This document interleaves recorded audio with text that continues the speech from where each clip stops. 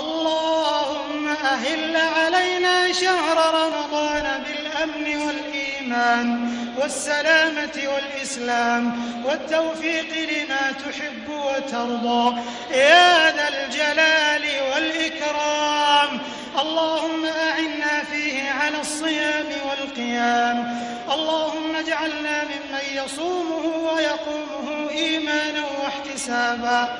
اللهم سلمنا لرمضان وسلمه لنا وتسلمه منا متقبلا.